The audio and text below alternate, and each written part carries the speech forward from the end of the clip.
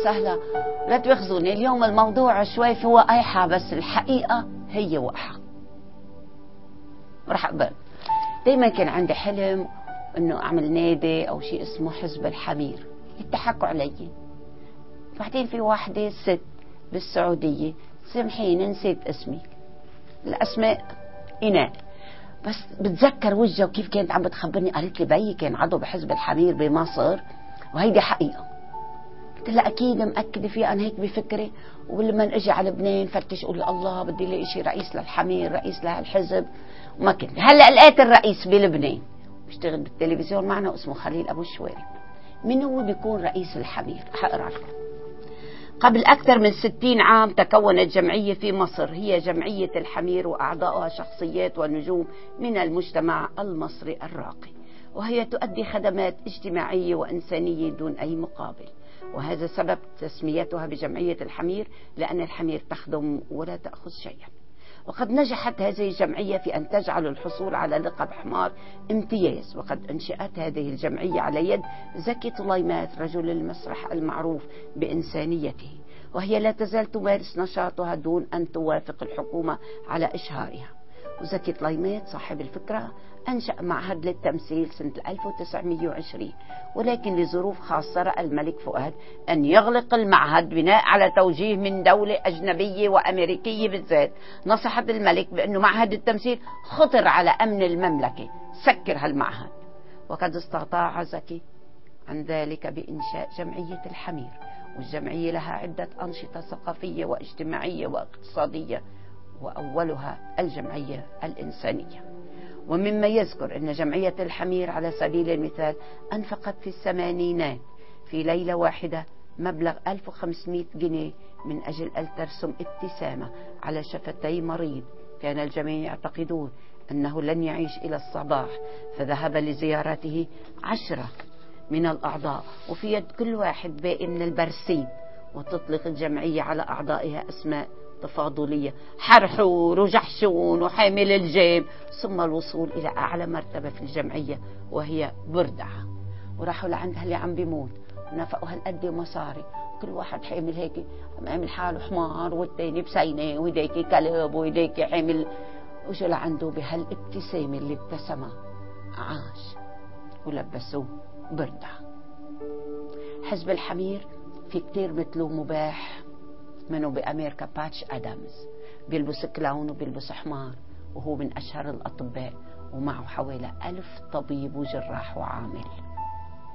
بهالعلم أنا بطبخ خوني بفوت على المطبخ. ومرة في ست قالت أنا بحب موت ببركة كلها معكرونة قلت أنا إن شاء الله ما أطلع علي الطبخ. طلع نهار دوري أنا. طبخت معكرونة ببركة كبيرة خليناها تنزل على البركة وتموت هي وعم تاكل معكرونة يا ريت في عنا حمير كتير بس أنا بقلكم لقيت واحد وأكيد منه وحده وخبرني نكتة اليوم تلفن تيقل لي قال لي ليكي فتحوا مدرسة للأيتام. إجوا كل الأيتام. وتاني يوم طلبوا يكون في اجتماع مع الأهالي. وين هالمدرسة فتحوها؟ قال لي بحمص. ليش حمص؟ ليش بنضحك على الحمصي؟ وعلى الأرمني وهيك. لأنه كل واحد منا بيفهم إنه النكتة موجودة فيي بيكون قوي. سو بيلاقوا أقوى واحد مين بسوريا؟ الحمصي بكبوا عليه. هو الإناء. بيرموا فيه. بالشرق الأقصى بودا بيرموا عليه. كل نكت الحمير والهبل والمساطيل صار في كتير بيقولوا أنا من بودا أنا من البودي تري وبكون مش هونيك بس إنه كبوا علي زبالتكم ممسحة ممسحة. حزب الحمير حزب ضروري كتير. بس مش عم بقصد الحمير اللي بيحكوا سياسي وبيحكوا هيك واللي موجودين لا. واحد راح على قبرص قال له شفت لي شي حمارة ونيكي مثل الإنسان؟ قال له لا بس ناس مثل الحمير شفت كتير. في ناس مثل الحمير وفي حمير مثل الناس. المعنى صار موجود بالقلب. بأمريكا عملنا جمعية صغيرة بنسميه دانكي مانكي حمار وسعدين وهيك. بيهتموا في منهم هلأ بلبنان بيهتموا بالحيوانات. المعاقة المتخلفة بيعطوك حيوان وبتأكدوا إنك ما عم تظلمه وهالكلب مش عم تأذيه بدك تلاقي كثير ناس عندها رحمة لهالحيوان المعاق ما عندهم رحمة لإنسان منه معاق. كيف بده يكون عندنا رحمة لحيوان معاق؟ ولكن في ناس بنهتم فيهم يلي عم بيموتوا. إذا مستعدين اتصلوا فيي على الإيميل بالإنترنت لاقوا طريقة مرة حتى رقم تليفون. حتى نهتم باللي عم بيموت بالمستشفى. ما في حدا حده. بدار العجزة ببيته. بس هيك نروح لعنده مرة بالشهر. إنت مرة أنا مرة فلان مرة فلان. بنعمل في طريقة بسيطة ومهضومة كتير. وما بتتكلف ابدا ماديا. بالعكس بتربح معنويا كتير. وهالقوة المعنوية بتخلي المال يركض وراك. ما بتعرف منين تجيك الرزقة. ما بتعرف تيجي على البيت تلاقي حدا حاطط لك. مرة كنت بحاجة لحذاء صدقوني يعني. كنت بالكويت مدري وين شلحته بالمطار. لقيت حالي راح أزحط كثير في صابون. حطيته. هلا بس أوصل على البيت ولابسة كلسات وبمشي حافيه كثير ومعودة وبرتاح أكثر حافيه هلا بوصل على البيت وثاني يوم بروح على من خير الله وخيركم موجود. وصلت لقيت في حذاء على الباب بقياس إجري ومثل ما بدي. ثاني يوم حكاني قال له قلت له كيف؟ قال لي ما بعرف كنت أنا ومرتي. قلت لها بنشتري هاي لمريم. ما شو بتعرفك قياس مريم؟ قال له ناخذ لها هيدي من أسرار علم النور. ما بتعرف كيف بتصير مين بيدفش مين كيف توصل بتصير كثير بتفكر بناس فإذا الحمير عندهم هالوعي بسموه ضمير المصير ومصير الضمير. الحمار قد ما لبسته جليل بضل حمار ما بده يصير فرس لو لبسته جليل من ذهب هو بده يضل حمار. وبده يضل يشهنق ساعة اللي هو بده يشهنق كل الحيوانات طبيعية إلا اللي عايشة مع الإنسان بطلت طبيعية بحب أشكر بريطانيا وهالشاب العربي اللي ما حب يذكر اسمه. في واحد بريطاني مريض مرض صعب كتير وإيدز وبتعرفوا قديما بالستينات مش مثل اليوم كان كانوا يدلوا عليهم بالصبي. وشفي بواسطة ال macrobiotic وتغيير الأكل. ابنه مريض. هلا في رسالة بي ما عملها بدي أعملها أنا. صار يروح على المدارس ويقول لهم غيروا أكلكم. شو؟ يروح على المستشفيات. شيلو. آه. اجى واحد عربي قال له ليه؟ أنا من العراق ونحن عندنا دين بيقول عن هالكلمات قال له قل لي شو بيقول. أها. اجى واحد قال له ونحن كمان. أنا من سوريا وعنا هيك. في كتير عرب هونيك. صار يتعلم من كل الناس وصار يجوا معه ويساعدوا. أخذت الدولة قرار. الحكومة تقرر تعميم الغذاء الصحي بالمدارس المستشفيات المستوصفات وتقول بالبيوت. ببريطانيا. اثنين اللي بلشوا ثلاثة أربعة خمسة. ما فيني لكم واستطاع جميع التغلب على العديد من المعوقات. ومنها ارتفاع كلفة الوجبة من 37 بنس إلى 50 قالوا له غالي الأكل عندك. صارت الناس تلم من بعضها مصريات ويقولوا له نحن بنعطيك نزل الأسعار. وبعدين يقولوا للناس غلي الأسعار لأنه ما بعم نشتري ادويه غلي الأسعار لأنه أولادنا عم تقوى بالطاقة بالنور مش بالنار. بلشت هالمدارس تقول إيه إيه بنوافق جيبوا حطوا عنا مأكولات. شالوا هيدي الكيوسك وحطوا غيرها. فإذا نحن بنطلب إنه الامات والبيات نحن كرموا المزارع في بلبنان مزارعين روحوا على سوق الطيب. أنا ما عم لكم كل سوق الطيب طيب. أنتم بتتعلموا الأبيض والأسود بتشوفوا وين الأبيض وين الأسود. بس ببيت السلام ما فيني لكم لأنه نحن وقحين إذا أنا نقصني شوية وقيحه بزيدهم عباس. إذا عباس ما بنقبل ليكم مأكولاتنا. إذا بقول لكم مين عم بيعمل هالعجينة وكيف ما بتصدقوا. لازم تجوا تتفرجوا عنا مين اللي بيشتغل. مين بيعمل هالحلويات؟ مين المرة اللي عم تشتغلهم وليش وكيف؟ وين بيروح ربحهم؟ فإذا عندنا المأكولات موجودة. تتعلمي أنت ببيتك. في بلد اسمها بتلون آه، غادة من البتلون من الشوف. بتعمل مهلبية وبتعمل حلويات مثل المغلي. ما حدا بيصدق إنه ما فيها سكر. فيها دبس. ليش التمر مش حلو؟ فإذا بدنا نعمل ثورة وهي ثورة الحمير. الثورة من الداخل. وينو هالكتاب الثورة؟ هاي الثورة. إذا بنشتري مليون كتاب حقه بيروح إلى بيت الحق. بصير نعمل بيت الحق مثل ما في هلأ. بسوريا بدنا نساندهم قد ما بنقدر. حطوا الخفايا. أنا قلت لهم الخفايا لسوريا. كل حق هالخفايا بيروح لسوريا. أنا بشكر الستات اللي اجوا على ليبيا بمعرض الكتاب وحدة حطت لي بجيبتي هيك فلس الأرملة. قلت لها ليش؟ قالت لي لأنه أنا شفيت بس سمعتك على التلفزيون. ومن الجزائر أنا بشكرك كثير قالت لي هو كمان. بعثتوا لي إياهم. دايما عندنا حساب بالبنك افتحوا مريم نور أونلاين وشوفوا. الحق بيوصل للحق. ابعتوا دايما بيصال للحق. بيت الحق بحاجة إلنا بس بدنا حق. بدنا نحن نتغير. بدنا نحن نصير وعي. المال منك بحاجة لمال بحاجة لوعي ولعقل. هو بيجي. انت الفارس انت مش فرس. بس تكون فارس. الرزق وراك. تعرف تطلب. وقت بتعرف تطلب. تنتلي الجيب كيف اغتنوا أغنياء أمريكا. بلا بترول بلا هيك. من العقل. عملوا موقع على التلفزيون. التليفونات والتلفزيونات اشتغلوا بطاقة النور.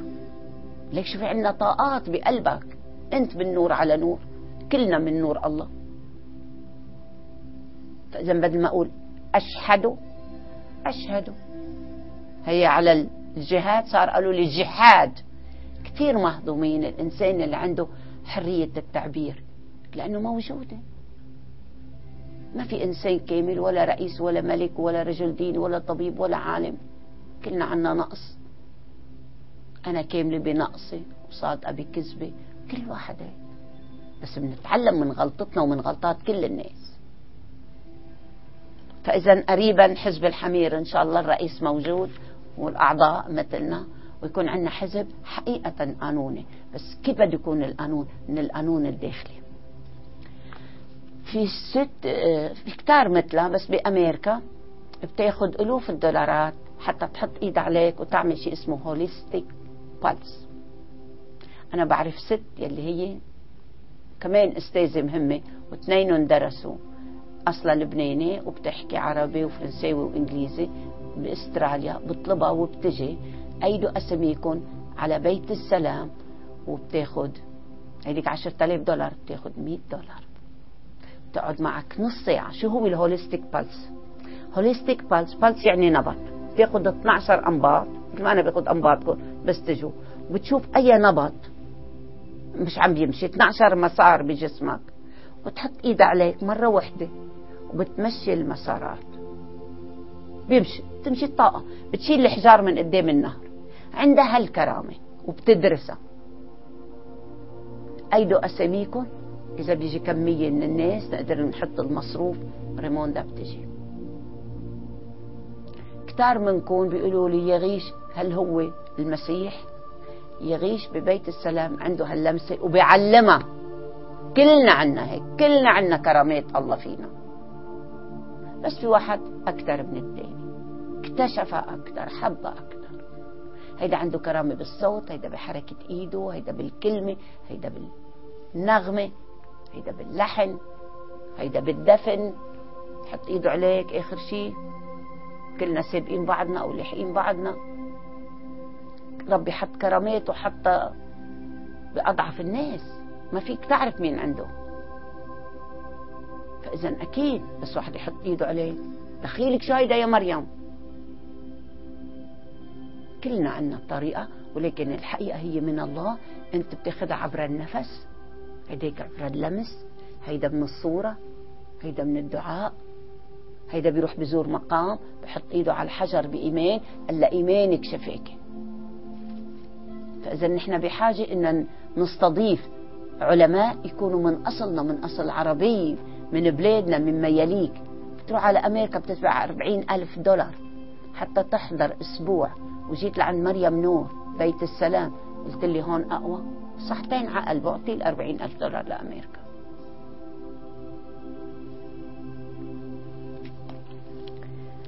ثلاث كتب بين إيدي كثير مهمين رح أختصر لكم. واحد عم بيحكي وبيقول وهيدا إن شاء الله يطلع رئيس جمهورية بأمريكا. كوسينيتش كثير مهم بيقول ما في سلام بالعالم إلا ما أمريكا تغير الزراعه وتغير المأكولات وتغير التصدير والتوريد. كل الاكل ملوث انتبهوا ما تستوردوا. هلأ عم بيلوثوا الحيوانات اللي بتطير مثل النحل والفراشات حتى تلوث الأشياء البعيده وبيرشوا وبيغيروا بالجينات.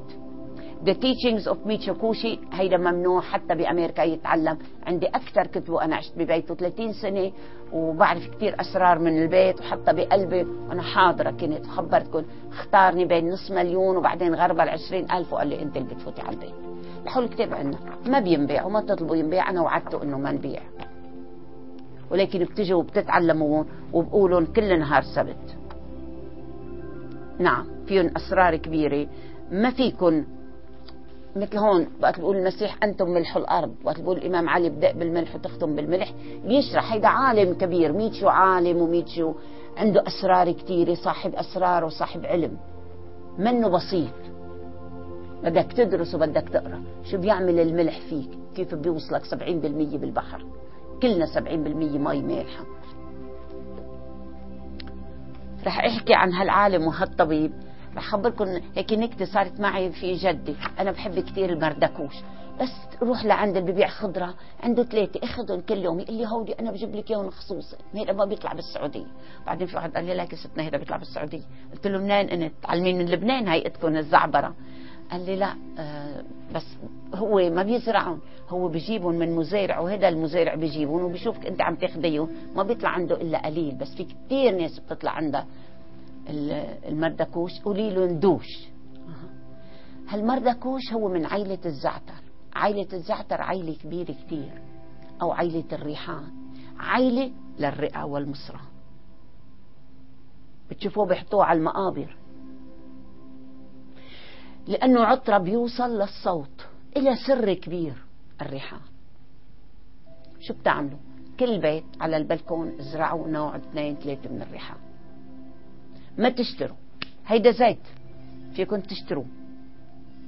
أي وجع مفاصل ظهر كتافي أولادنا يلي بيعملوا التيك. بتشوفون. الركبة وقت ارترايتس كل المفاصل. بتشوفون قاعدين عم بيعملوا هيك.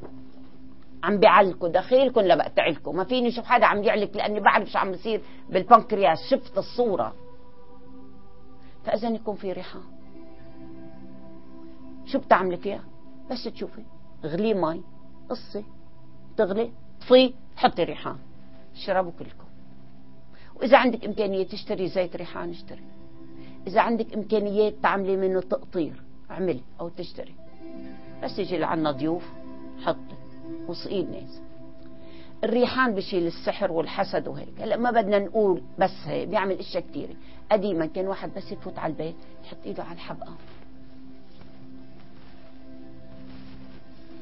ويزور. وهو طالع.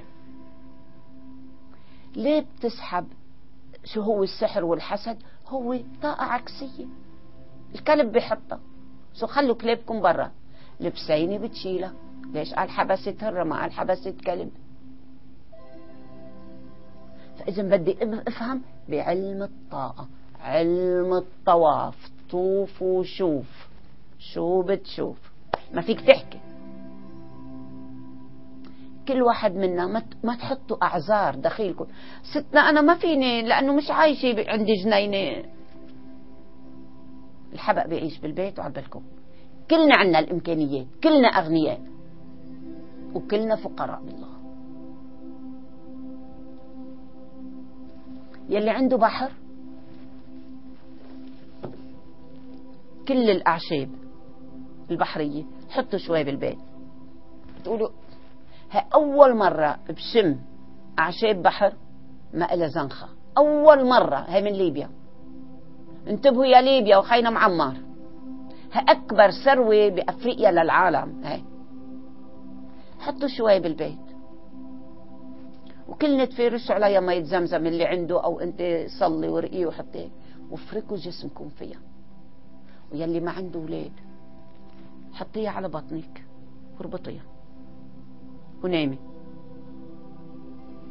على السرة بتغير بس تحطوها بتصير الطواف عندك هيك جوا. أنواع كثيره موجودة وما لها زنخلة أول مرة معناته بعد ما في مجارير عندكم. بعد منه وسخ وقالوا لي شرطكم كثير كبير. فإذا المرض موجود بكل أرض وبكل عرض. المرض بيبتدي من أول مقام ما بنحس فيه. من هون علم الفراسة. شوف أوقات ناس بيقول له عندك بالقلب عندك هيك عندك هيك. حقيقة. بس المكنة ما فيها تشوفها. أنت بتشوفوها. بتلاقيه قاعد على السيارة عم بيسوق. مات نام مقى أعطيكم إشارة عن القلب. كل واحد بتلاقيه هون عنده مورمين ومشقوق هيك. هالشق هون عنده بالقلب. لو فحصتوا لا خذوا الأنبار بتلاقوا نبض القلب. قلبه مصران رفيع. فراسة المؤمن. اكتبوا قد ما فيكم عن الرازي وابن سينا هن الملوك بهالعلم. اليابان ما دونوا علم الفراسة تركوه من جيل لجيل بالتسلسل ولكن ما بيضل في حكماء وعلماء. اللي دونوا علم الفراسة بأمر من الحبيب على زمن سلمان الفارس. وقت اللي شاف قال له يا أنت رسول والنبي أو أنا علمي غلطان؟ قال له لا علمك حقيقة. من دعسة إجري. راهب البحيرة بس اطلع بال الغيوم. قال له مين معك؟ قال له ولد صغير قال له جيبه. انتبه له من اليهود انتبه شو راح يصير. ناطرينه كلنا. كان في خبر مسبق عنه. علماء الفرس وقت اللي خلق المسيح الفرس إجوا. من إيران من بلاد فرس المجوس. عرفوه لحقوا النجمة. بالمغارة. مميز. هو مع الحيوانات عنده رحمة أكثر منه.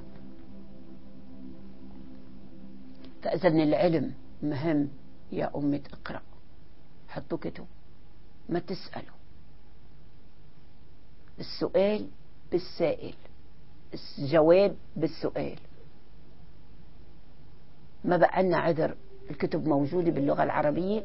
كل الكتب اللي ترجمتهم الأول برنت قروهم كلهم النضج الفهم الشجاعة اللي بدكم إياه الحدث الإبداع. قرون بس تقرأ عن الإبداع. مقدمة واحدة بتفتح الإبداع. بتصيروا بحال ما بدكم ورقة وقلم. انت الورقة وانت القلم وانت القلم وانت القلم وانت العلم. وفيك انطوى العالم الأكبر.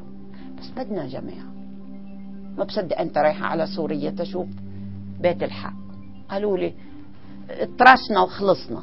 اجاكم حصيرة من ليبيا وحصيرة من تونس.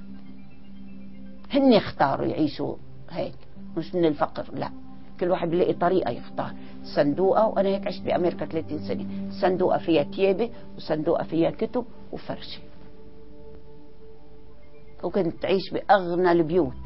وين ما جيت حتى لما اجى على السعودية إن كان قصر الملك فيصل ولا قصرك ولا فلان ياخذ أوضة وبقول لهم بشكركم كيف تقبلتوني؟ قالوا لي أنت فرضتي حالك علينا. الفرض يجي فريضة إذا أنت عندك عرض. بيحترموا العلم وبيحترموا العالم. ولكن للأسف بأمة العرب ما في احترام مادي للعلم وللعالم. بالغرب ما بقدر لكم خبرتكم أول يوم رحت لعند آرثر جلوسمان ويعرفوه منه عنده سرطان بالبروستات ومريض وكثير قالوا ما في إلا جيب مريم. أول يوم أعطاني خمس دولارات على الساعة ونحن عايشين أكلين شاربين نايمين. بس هيدا مركز بنعيش فيه. ثاني يوم 25 ثالث يوم 500 دولار رابع يوم قال لي شو عملت فيي. قلت له خدني على المستشفى ام دي اندرسون مستشفى مهم كثير صار يقولوا لي كيف بدنا نعمل مثل ما قلتي؟ هيدي حقها 5 ملايين هيدي حقها 20 مليون هيدي بعد 50 سنة أمريكا بتحكي بهالعلم يا مريم بس هلأ بدنا نطلع الأموال اللي نحن حاطينها بالمستشفيات. شو بنعمل بنجيب العرب بنكب الزبالة عند العرب وأغنياء العرب بتجي بتتحكم عنا وبتتعلم وبنعطيهم النفايات وبناخذ منهم الآيات. نعم. أمة الوسط عندها الحكمة وعندها العلم. الحكمة والعلم وعندنا الأبعاد. أمة الوسط لها سبب. البوصلة اللي هي مكة المكرمة بالنص. فيك. انطوى العالم الأكبر. بدنا العلم بدنا نقرأ بدنا نيجي على بيت السلام وبتأسف لكم بكل العالم العربي ما حدا يصدق. مريم نور عم بتعلم مريم نور عندها مصح مريم نور عندها أسطوانات وعندها هيك. هذا كله كذب باسم مريم نور. وما بدي اتشكى على حدا بدي أقول كلمة وحدة حسبي الله ونعم الوكيل. في واحد هيك بقلبي عتب أخ وأخت دعيت عليه دعوة ما بقدر لكم شو صار فيه. ما فيني أخبركم قلت أنا ليه صار في هيك؟ انتبهت إنه دعوة المظلوم. انتبهوا. من اذى لي وليا أذنته بالحرب. قريبا رح يكون على بيت الحق كتاب من النكاح إلى الجناح. هالكتاب بتسحبوا أنتوا وبتقروه. وفي حساب بنك. بتبعتوا لو بعتوا دولار بعت ريال ودينار بيكون من قلبك فلس الأرملة ما تسكروا بواب العلم. بأمريكا بياخذوا كتاب ما فين لكم شو بيعملوا وشفت في ناس بالعالم العربي لو واحد بالمليون عنده هالاحترام. إذا على كل ألف شخص بدنا شخص واحد من ألف. بتكون الطاقة قوية بس هلأ واحد من مليون. إذا بقول لكم كم واحد بلبنان عم بيفهم علي كثير قليل. ما بدي فهم بدي أعلى المستوى استوى وانطوى. بدي واحد يكون حدي حتى نلحق اللي قدامنا. ما بدي اللي ورا ما فيني انطر يمين يسار ونمشي بهالمسار. وإلا ما في صغار وما في كبار. الصغار هن ان لم تعودوا كالأطفال والكبار أصحاب الحكمة. والبرهان ما عندهم ولا برنامج على أي وسيلة إعلامية. ما بتشوف حدا كبير عم بيقدم أخبار. لازم بقدم أخبار عم تحكي انفجار. هول بقدموا الأخبار. أنا بشكر في نسيت اسمها دايما بشكرك من قلبي بس تحبي الأخبار أنت. بس بتطلع فيكي ما بسمع الأخبار. شو اسمها رنا قاسم جاي بس تتقدم أخبار هالبنت. ما عندها شيء اللي بتعرفه كتير منيح. قاعدة على هالشاشة بكل تهذيب واحترام. جاي تقدم الأخبار وتروح على بيتها عم بتحس فيه. بتعطوها حرية تتحرك أكثر لما عم تحكي عن انفجار عم بتحس فيه. بدنا على القليل الأخبار أو اللي بيقدموا برامج ما يكونوا عم بيقدمون.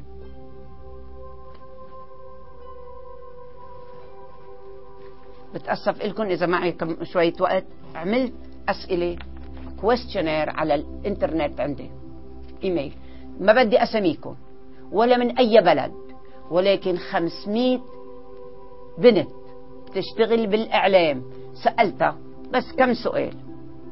كوني تحت ال 35 وكم سؤال. من ال 500 412 بعلاقة مع أصحاب الشركات. مزوجين وعندهم أولاد هيك طلبت. والسبب ما بنشتغل إذا ما كنا هيك. فرشة وشاشة. عملت كمان سؤال اللي بيسموهم عاهرات وزانيات ومدري شو وطلبوا إنه نفتح شركة ومؤسسة ورح تكونوا ببيتي وبقلبي. أهلا وسهلا فيكم. اتصلوا فيي وتعوا نعمل عمل تاني.